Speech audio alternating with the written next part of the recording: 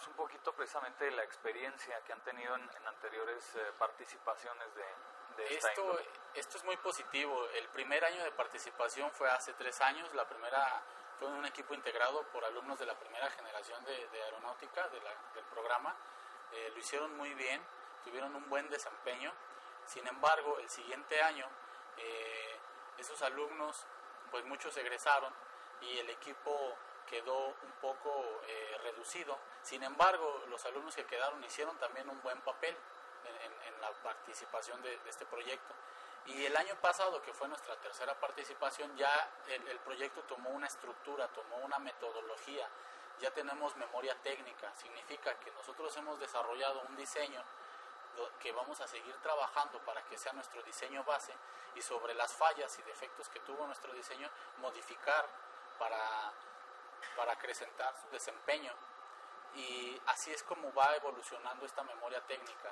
Tenemos ya un año registrado de memoria técnica de todos los análisis, experimentos y todos los tipos de diseños que nosotros intentamos implementar, independientemente que ya tenemos personas, eh, eh, tenemos alrededor de 15 alumnos que ya tienen dos, uno o dos años de, de participar en estos eventos, entonces ya tienen esta experiencia que, que se es necesaria cuando se coordina este tipo, este tipo de proyectos. Así que tenemos, tenemos la experiencia de tres años, tenemos la memoria técnica que hemos construido del año pasado, tenemos una base sobre el diseño y ahora lo que queremos es generar un equipo multidisciplinario como una ventaja competitiva más. El año pasado quedamos eh, dentro de los mejores 20 de todas las universidades que participaron.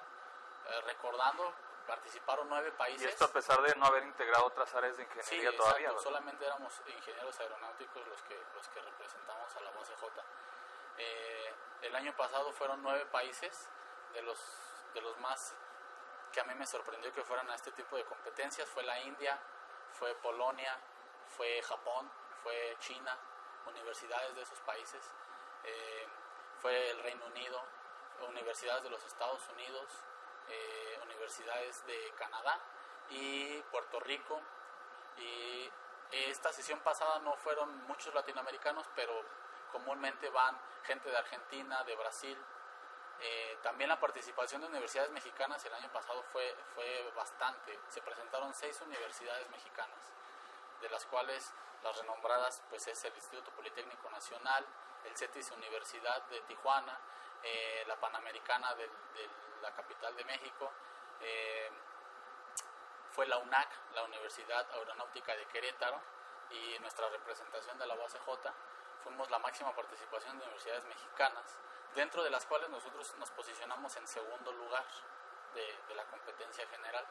Quiere decir que aunque no teníamos eh, mucha experiencia, a diferencia de ellos, que ya el Politécnico lleva 10 años participando, el CETIS Universidad lleva otros 6, la UNAC era su, su cuarto año, o sea, nosotros apenas iniciamos, aún así quedamos muy bien posicionados significa que en la parte del diseño, construcción, experimentación estamos bien, pero nos está faltando algo. Ahí es donde entra la convocatoria. ¿A quiénes, a quiénes estás eh, convocando este, con este proyecto Aerotech? Entra, entra la planificación del siguiente año. En función de, los, de las fallas que obtuvimos, sacamos líneas para mejorar esas fallas. ¿no?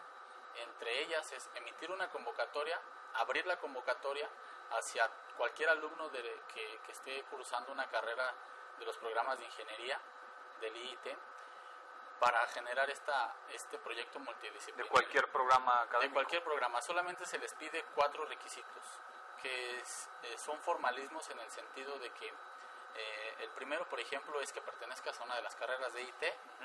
El segundo requisito es que tengas entusiasmo por el trabajo en equipo. Es fundamental. Eh, como se podrán dar cuenta, en este tipo de proyectos el trabajo en equipo es eh, fundamental y te puede dar el éxito. Si tú trabajas eh, con tus compañeros tomando decisiones con el equipo y no, no, decisiones individuales, eso te puede, llevar, te puede llevar al éxito. Así es que es un requisito para nosotros que los alumnos sean emprendedores, tengan mucho entusiasmo y trabajen en equipo. es el segundo requisito. El tercer requisito es un promedio mínimo de 8, porque consideramos que si el alumno tiene menor que ese promedio, a lo mejor este proyecto eh, eh, no sería su prioridad. Preferiríamos que, que, acrecente sus calificaciones y posteriormente podría pertenecer al proyecto. Y el tercero, que tengan un dominio intermedio del inglés, porque como participamos eh, internacionalmente, el, el lenguaje es muy importante. Entonces, de hecho, una parte del proyecto es una presentación oral que se hace eh, dentro de la sede del evento. Que lo hacen una participación y, presentación técnica del Exacto, los alumnos hacen una presentación técnica que es calificada, es ponderada y eso nos puede dar o nos puede quitar muchos puntos. Independientemente de que toda la literatura que nosotros manejamos básicamente está en el idioma inglés. Alguno está en portugués y también hay hasta en francés.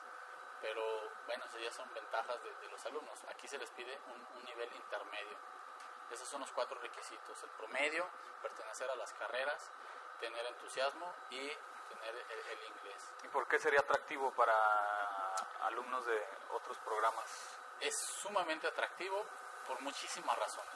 La primera es que están simulando la inserción laboral.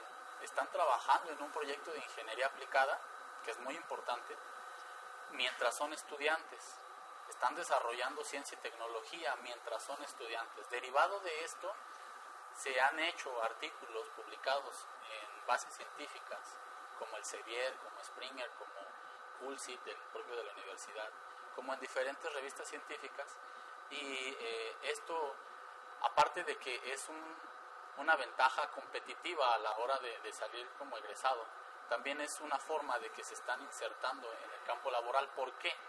Eh, cuando vamos a este tipo de competencias, hay empresas que se dedican a observar el desempeño de los alumnos en estas competencias.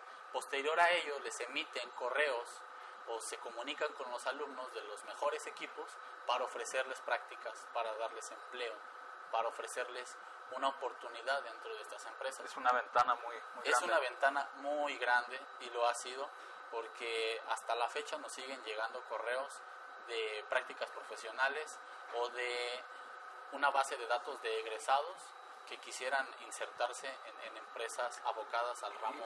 Perdón, una, una cuestión, aquí eh, también sería una parte de diversificarse también, digo, no es especializarse en, en, algún área de trabajo, sino también está la parte aeronáutica. Vamos al fin y al cabo a representar a nuestra universidad, a nuestro estado y a nuestro país necesitamos que la gente que va sea la gente de calidad